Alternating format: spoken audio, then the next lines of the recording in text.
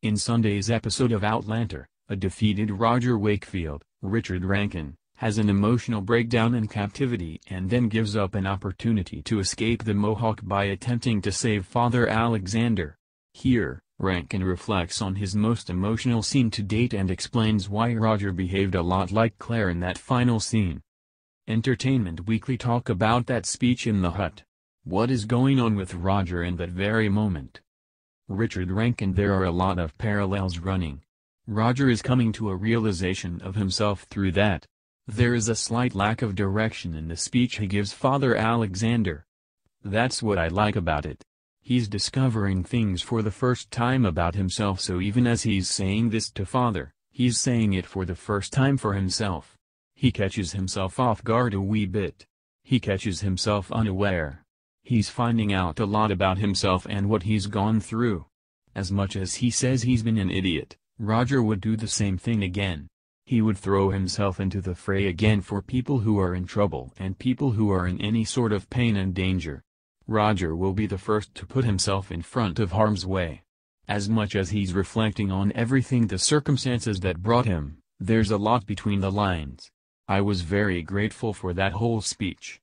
The character is really moving forward. He's taking a step forward as a different person.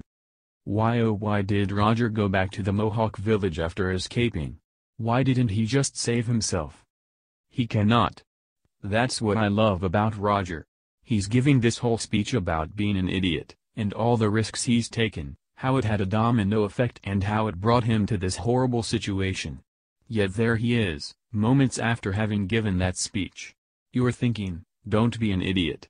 If you go back and try to do something, there's going to be consequences. Listen to your own advice. Look out for number one.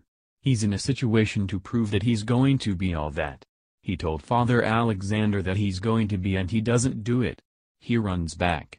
He can't stand it. He is such a compassionate man of integrity and justice, he has to go back and do something. He doesn't even know what he's going to do. He has to go and try to do something. It's like Claire in some respects. In season 1 and 2, when she was presented with something, she could either be quiet and turn a blind eye or do something and find herself in real trouble. She always did something and found herself in real trouble. You were thinking, why are you doing that? Roger does it so much. It's one of these traits in his character that will never go away. For more on what the producers call Roger's idiot speech, tune in at 1 p.m. ET on Monday for a fresh edition of Outlander Live. On ET Radio. Sirius XM 105. We talked to executive producer Toni Graphia.